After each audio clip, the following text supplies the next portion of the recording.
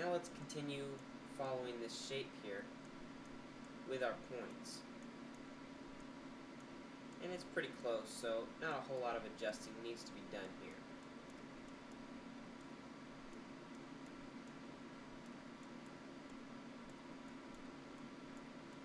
One thing I will need to do is just that center line of points so that they're correctly going down our model so that when we sub D it, things look smooth.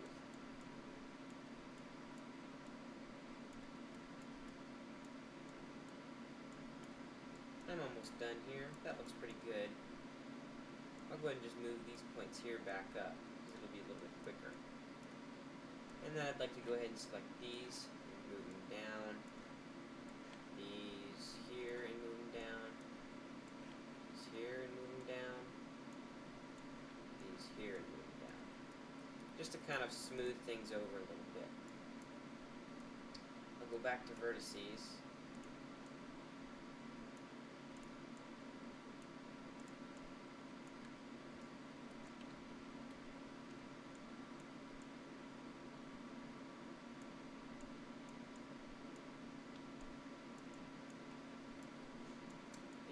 that, I'll go back to faces, and I'm going to select all of these faces here.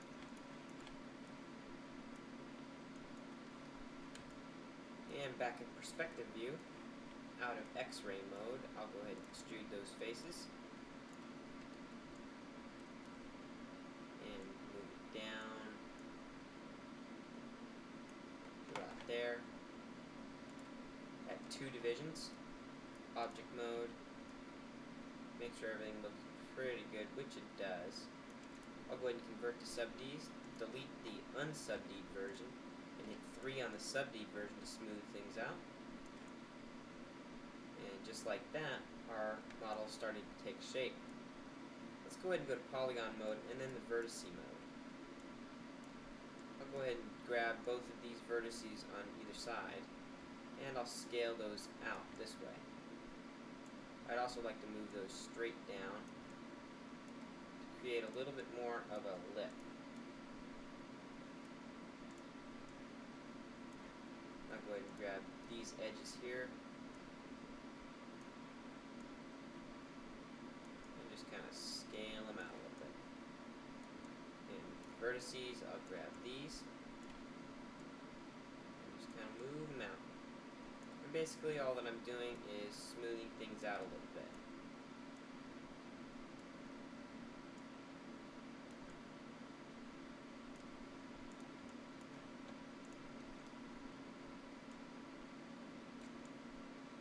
Something a little bit more realistic like this.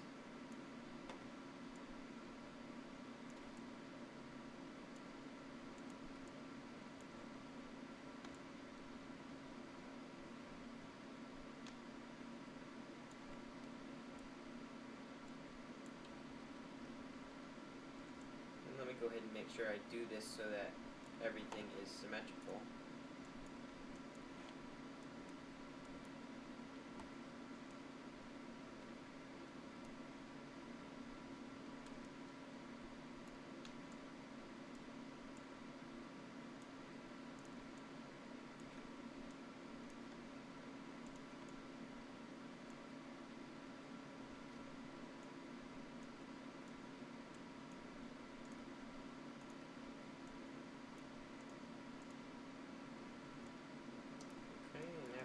Little bit of adjusting, you can see we have a pretty nice looking mesh. So let's go ahead and simply go to edge mode here. And I'd like to, actually, you know what, let's not do that. Let's go to polygon mode and select faces. And I'll go ahead and select these faces here. And they look pretty good. I'll leave them alone. I'd like to go ahead and select these though, for sure.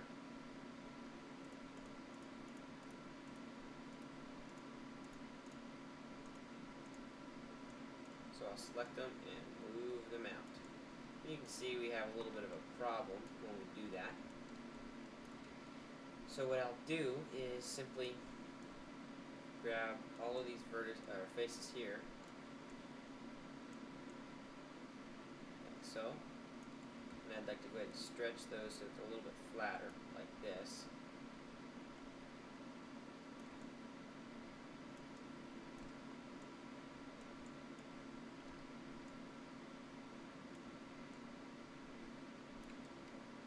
Something a little bit more like this.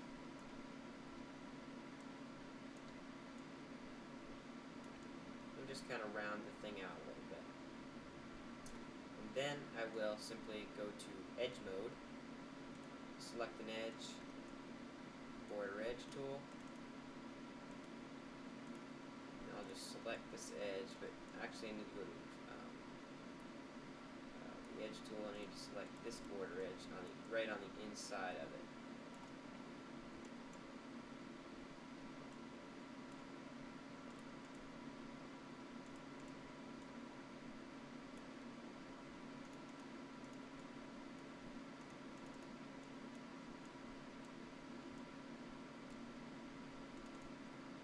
And after selecting that border edge there, I'll extrude it.